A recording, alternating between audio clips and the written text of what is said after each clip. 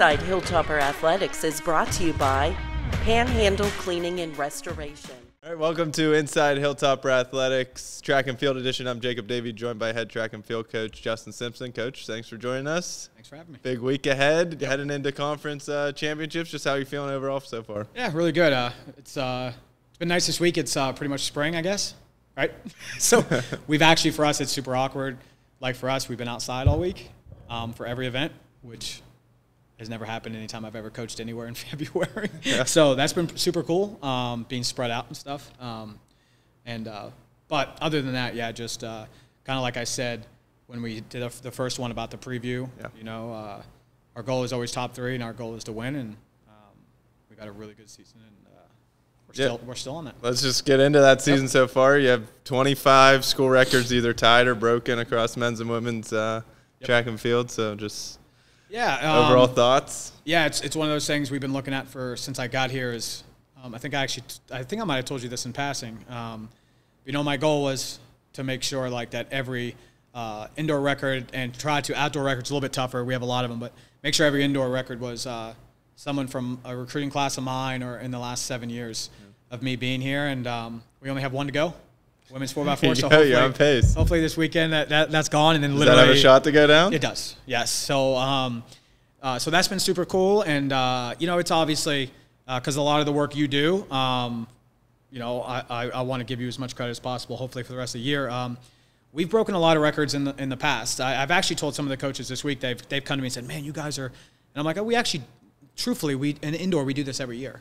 Um, but the social media presence which is you know I'm I'm not really big on. Um, but the social media presence has been uh, so much better um, with everything that you've done, and uh, I put Coach Favo in charge of an Instagram that uh, I've never even been on. Uh, I've never been on Instagram in my life, so he does a good job tracking the meets. Yeah, so yeah, I've never even seen it. So, but just that sort of work, um, I know a lot of the coaches here, and I've had GAs from Student Life and stuff talking to me sometimes, and uh, be like, oh man, I saw so and so. So like, um, I think that that presence has really helped um, put us in the spotlight more um, because we, we do do this a lot of you. Not 25. You know, today's this year's been an exceptional year, um, which has been great. We thought we had this opportunity, um, but I, I, do. I think a lot of the work you do and the work that Coach Favo has done. Um, has just kind of spread it out to the masses more. you know, we've had very good teams for years now, but the 25 records is it's awesome it keeps you motivated during long seasons. You know, when you break one, you know, it just kind of uh, revives you as you're moving towards the championships. So uh, a lot of hard work by the team, um, a lot of hard work by uh, the staff, a lot of hard work by you, obviously, um, just to make it all come together so everyone can see um, the finished product. Yeah, and then get into the conference championship this uh, weekend. Mm-hmm. Two days down in um, Huntington, hosted yeah. by Marshall, right? Yes. And men have a good shot. They're ranked first in the conference TFRRS yeah. rankings, and yes. the women are top three as well. Yeah, um, yeah. I mean, it's it's. I, have I've always told people, you know, I was I was an athlete one time in my life, and uh, the reason I do this job is because I'm very competitive. Um, I always loved pressure. I was steered right into pressure. Um, and when you have usually in this job, um, when you start to feel pressure or uh, nerves, it usually means you're doing something right. It means uh, you're good, and it means you have an opportunity. Um, and that's where we're at. Um, we are very good last year. You know, our women had a shot to win, and it's it's you know Charleston wins every year. Um, actually, for the indoor championships, Charleston's never lost um, uh, with the MEC indoor. So uh, we're hoping we're that we're that team this year. And uh, on the men's side, um, we just have a very and I, and I, said this in the preview. We just have a very complete team. Um, whether it's throws, distance, sprints, um, pole vault, we're just incredibly well rounded. Um, we've been, for the most part, as, as, as the best you can, really, uh, very healthy through the whole indoor season. Uh, we've had a very mild winter, so it's been, again, easier for us to go inside and outside to get work in, which is pretty rare for all the teams. Um, but we, we do have a shot, and I'll never steer away from that. I'm not. I would never sit here and, and just say, "Well, we're just going to go in one step." No, I want to win, and they do have that opportunity. They, they completely understand that. Um, and every meet we've gone to, they've shown why they've been number one the entire indoor season. And I know Charleston wants something to say about that, uh, which is awesome. Uh, but we're going to do everything we can on Friday and Saturday uh, to host the first indoor track and field at West Liberty uh, championship ever. Um, women, pretty much on this track last year. Um, we got second last year, um, indoor and outdoor. Ama- amazing teams. Um, and uh, this year, we're, we've been ranked third all season. Uh, we do have an opportunity for second. Um, and uh, so we'll, we'll see how that falls second day. But, you know, the secondary goal is always to maintain our position on the podium for top three. And uh, so it's been nice for the both programs um, to talk all year just about, you know, that we have two programs that are um, top three. Um, a lot of teams just, you know, can never say that. So it's, it's been, it's been fun. Yeah, so this is pretty much your first event as accumulating team points, right? You-. You've just been going competing individuals, Yes. trying to qualify for the performance list. Yep. So, Yep. what's that? Is there like a different mindset in training and stuff as the more team atmosphere? Or? Yeah, I mean, I mean, not really like in practice. It's um obviously the, like the last ten days or so, we started to taper athletes off. Um, you know, we really don't we don't back off any of the meets throughout this season because we we're focused on this event, and it's the same thing as outdoor. Once we start outdoor, after this event's done, um, our training philosophies and our training regimens are set for May right? So we don't go to meets and just completely back off anything to be fresh for a meet. Like that's just if you're going to do that, then you won't be great in May. Like you just can't do it. So, um, so we backed off some in the last ten days. Like I said, the weather's helped spirits a lot um, as we get close to the championship, uh, as it always does. You know, How does that vary into the preparations for indoor, even Yeah. practicing outdoor? You know what I mean? Yeah, I mean, especially like we've had throwers outside, which doesn't happen all winter. You know, Yeah. again, more space, uh, more freedom there, and uh, for the track kids, you know, our, you know, we love our indoor track that we just have it, but it's 170 meters. It's hard as a rock. Um, you can get a lot of shin splints and different things indoor, and um, so going out on the big track, out on the soccer turf. Um, for us injury wise or just uh, refreshing people's legs. Uh, it helps out tremendously, and just for kids to spread out. And, and the big one where it helps is our jumps. Like we can high jump inside, which is great, but we you can't long jump and triple jump inside. You don't have Yeah, no pit, yep. So when you're working on your steps, when you're working on board work, and you're working on sand stuff, like you, you usually, and this is every team, you know, in the MEC, because none of them have indoor complexes that have Right. pits. Yeah. You don't get that work. So pretty much when you go to meets on the weekend for the jumpers, that's their work.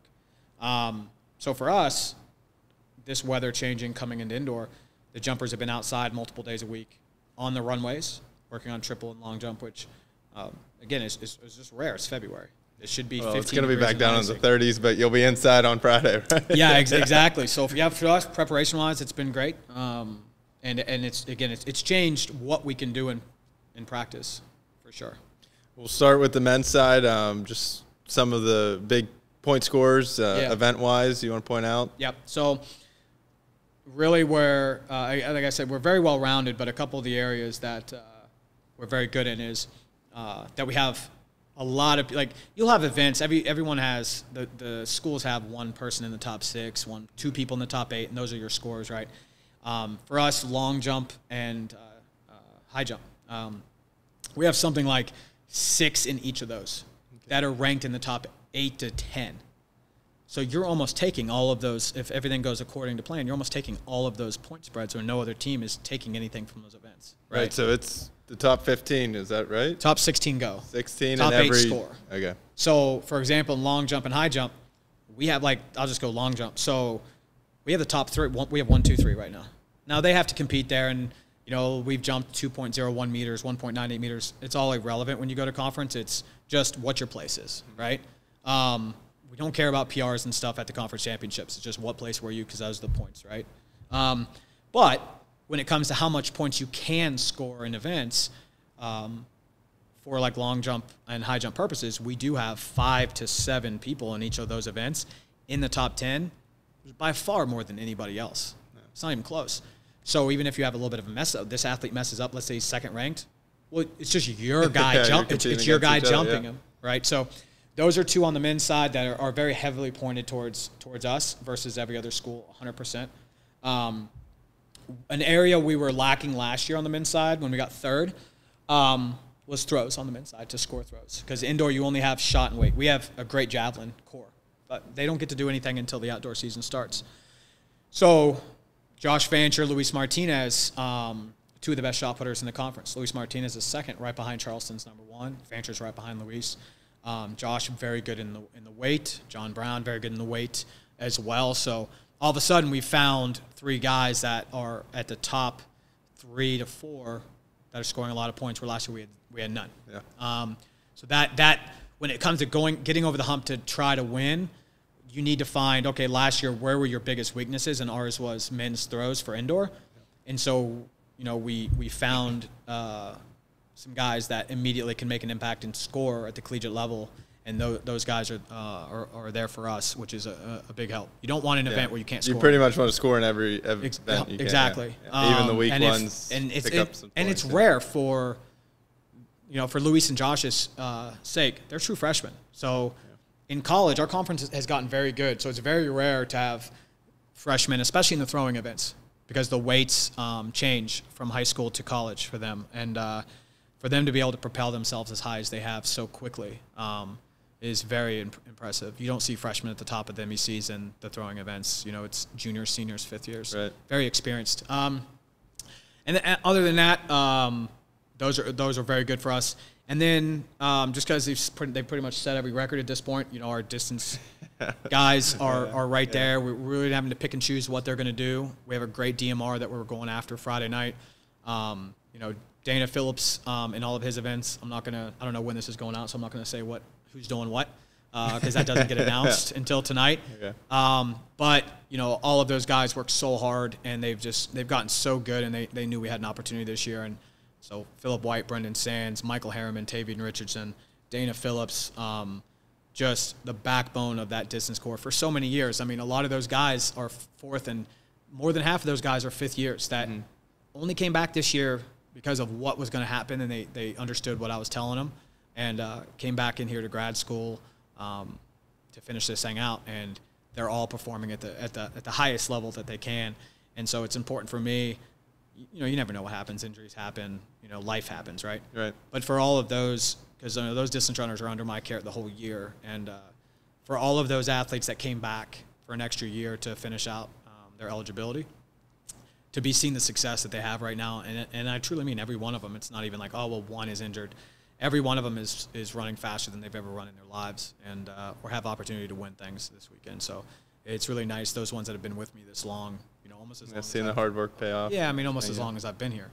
So you really care about those athletes because they, these distance runners that are going to finish, they're uh, they were here when we were last in the conference in cross and track. You know, just at the bottom, and uh, to potentially win and see a full circle of that freshman class believing in what I was telling them, and then possibly winning and even having the opportunity to do so. Charleston's very hard to beat. Every team knows that, and uh, the fact that we have an opportunity and we're talking about it, I appreciate already. Um, because a lot of these athletes that are going to be leaving me after this year, they came they came and, and they listened to me when you know we they could have just looked at the results when I got here that first year and been like, well, you guys are last place in all of the track and cross things, and I couldn't dispute that. Facts are facts. I had to, to sell them on what I think we could do, um, and so to see them possibly go out on top like that, pretty cool. Pretty cool. Would be really cool. Um, I know you have some athletes that compete in different events, and you hold them like one weekend they'll compete in this, and the other weekend they'll do that. But Yep. going into the conference championships, how does that affect your Yeah. planning? Do they compete in multiple, or how does that work? A hundred percent. So, um, again, that's that's mostly the distance runners. Yeah. Right. So it is two days. So a lot of it's it's split up pretty evenly for the sprinters, prelims, uh, the throwers. Um, it's mainly distance runners because a lot of a lot of my uh, kids can do. Um, they could qualify in the 5K, the DMR, the 800, the mile, and the 3K. Well, you can't run all those right in a weekend, can you? I guess you could. D three does sometimes because like like the PSAC. I mean the PAC for example at Bethany's at they only have one day for their championships indoor, which is unreal. Like, um, that's tough. I've never even heard of such a thing. That's tough. Um, and so for us, two days indoor, three days outdoor. Um, you are with the best athletes. Like you are selective. Someone like Dana, he could he could he's a top seven guy in 800 all the way up to 5K. Uh, what we do and all of us do in the conference that have strong distance programs, we have to be selective in what we think they can win and what is okay to hold them out, and that would still help the team. Um, so with my top guys, and with like Hannah, there's they could qualify in all of them, um, but they will not run them all. Um, They they all know what they're running. Yeah. Um, and during the season, we talk about that when the season starts. Like, hey, we're going to run a lot of events, um, but these are these are the two or these are the three. These are the events you're gonna Okay. that we're focused on. Yeah. So um, when the uh, lists come out tonight, you know there'll be events that like Dana's not on because we're trying to win some other events. So with distance, we are selective, Right. but with the other but the other ones, uh, no, they'll they'll do them all. Do it all. Yep. Yep. Then you want to talk about uh, the women's side, come in ranked third Yeah. in the conference. Yeah, um, the women, the women, um, it's kind of like last year. Um, you know, I talked so much and so highly of the women's throwers last year because they've been our backbone for five, six years now. You know, we just had such a strong uh, a group of women throwers, and uh, we lost Kelsey Hewlett, who's throwing up for Grand Valley now, and uh, um, but we had so many still on the team, and we brought some girls in, and um, I, I truly still believe that they're still the backbone um, and scoring the most points uh, for the team. Um, that just doesn't go away. Uh, one year, we only had you know, one graduate, Kelsey, last year, with the whole rest of the team that was all coming back. Um, so that's a very uh, strong point for us. Kennedy Martin's number one in shot, and uh, you know, she's looking to win that. And we, uh, Susan Johnson and Sydney Jeffries, uh, they're two and three in the in the weight throw, and they could easily win it. Um, so hoping hoping for those, uh, and we have just a whole slew of scores after that. To be honest with you, so like twelve of them. uh, so I won't go through all of them, but those are kind of the three main ones that are like at the top right now. Right. Um, and then uh, our multis, our jumps, um, you know, our, our high jump, our long jump, and then our three girl um, pentathletes um, are all in scoring positions, um, and very good. And uh, and then of course you have Hannah, who's in pretty much all the distance events, as always, doing her thing um, and scoring points. So, um, and then and and really honestly, and you've had to write about it or put pictures up so many times. It isn't a crazy amount of points, but um, who's really stepped up this year um, is someone like Olivia Combs. Um, she was very good for us last year, right? She's a great athlete, very a great person. Um, but sh- as she's matured, she's really taken on a role for this team, and you know she's the second best pole vaulter in the conference. Um, she gets it seems like every week she gets better. She has. she, she went from Right. She tied it, broke it, and then broke and her broke own. it again. Um, and then her teammates like Mac Ryan, she is she is a pole vaulter. You know, like Olivia also is a scorer in the long jump and the triple jump, and so she's very versatile, which helps us out. Mac has been with me through the thick and thin of, of the pole vault here and through multiple coaches and through highs and lows. Yeah.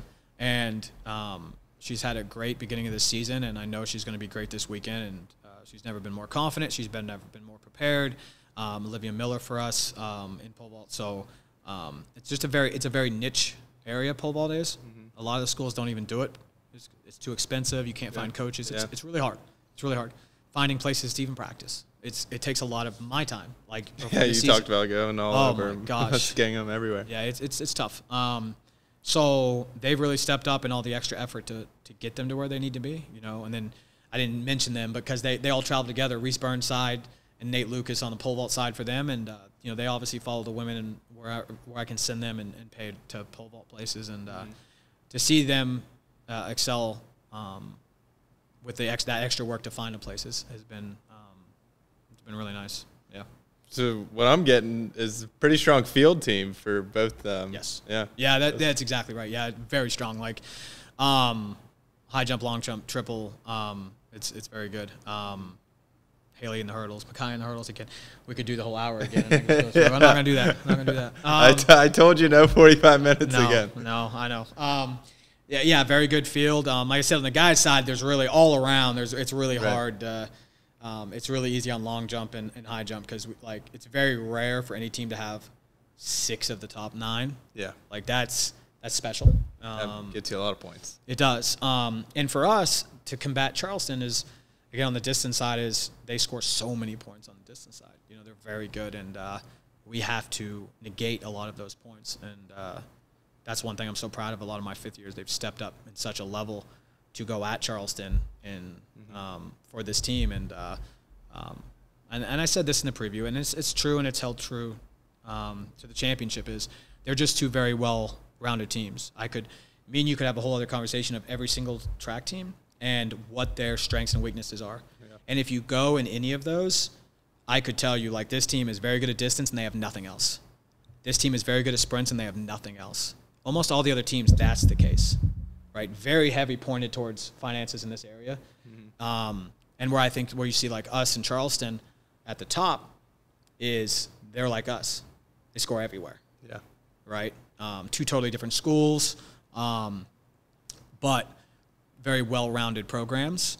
So that you are, if you have a little mess up here, you you have a universal scoring system where it's like, okay, every event there's an opportunity. Like we don't have a weakness anywhere, right? So the two top teams that are going to go at it on the men's side, that's the case. Like every event that steps up, every time one's done in the next one, you have scores in those events. And to win, especially nowadays, the way the conference has gone, you, you have to have it.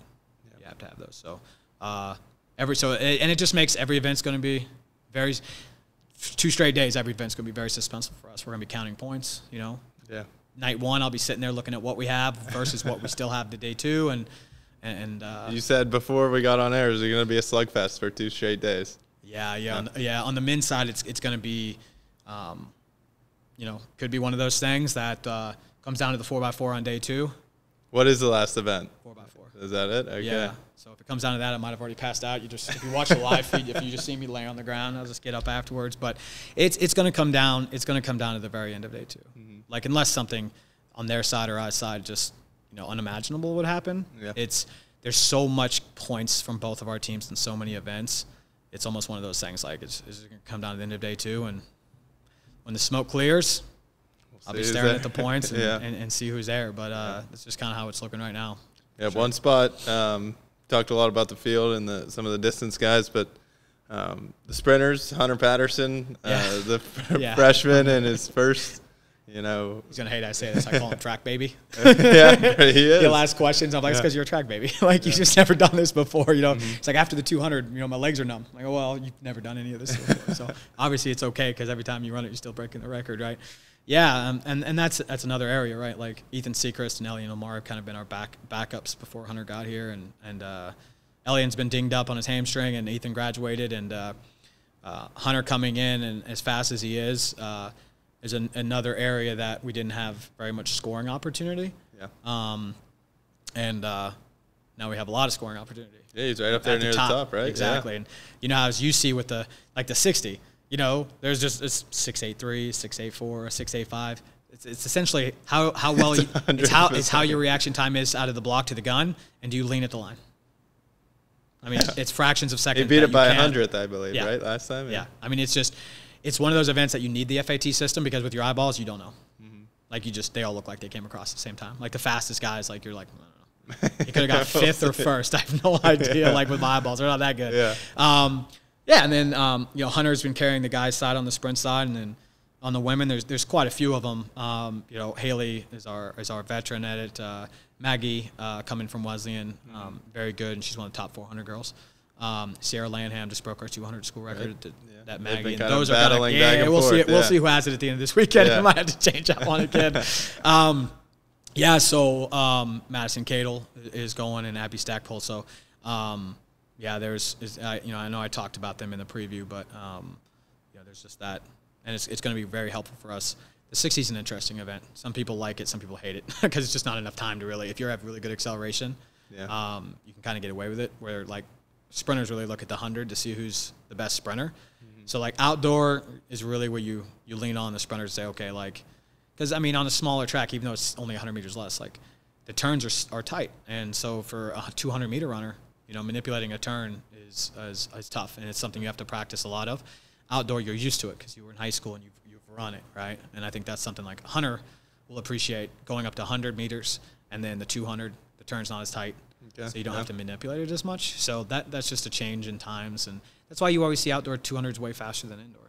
You know, because Yeah, just not as many the turn- turn. yeah, exactly. So and and it's something they're familiar with. Like a lot of these freshmen have never run indoor before. A lot of these freshmen that have done well or are developing. Um, this is their first indoor season ever, and before you're good, you need to be experienced. And uh, even though like Hunter's good, very unexperienced. He just Still has a lot to learn. Yeah, said. he learns. Yeah. He learns every week Right. Yeah. but he's unbelievably inexperienced for how good he is. It's, it's, it's funny talking to him about it. Um, like when he talks, he just he gets so tired, and you're just like, you just, everyone else like, oh, we've been doing this forever. Like, uh, this is his Mm. first time. So, um, yeah. So no, those those groups uh, will be taking some points for us as well. Like I, like I said, that's a good thing on both sides. There's not a there's not an event on any of the sides that we don't have point scores. So Right. That's which to be top three. It's in our sport. That's what you have to have. Yeah, well, should be an exciting weekend, Coach. Uh, best of luck to you, both teams. Um, for everyone out there, tune in. There will be a live stream, live results. You can find all the links on hilltoppersports.com. Um, best of luck to the Hilltoppers this weekend. I'm Jacob Davey, joined by Coach Simpson. Disasters happen. Pick the team that takes care of them all. Powered by offices in Wheeling, Morgantown, and Pittsburgh, Panhandle Cleaning and Restoration is ready to handle any size emergency at a moment's notice. We have the right people, knowledge, and equipment to respond 24 hours a day. I'm Danny Irwin. When disaster strikes your home or business, tell your insurance provider you prefer the restoration company the Hilltoppers call Panhandle Cleaning and Restoration.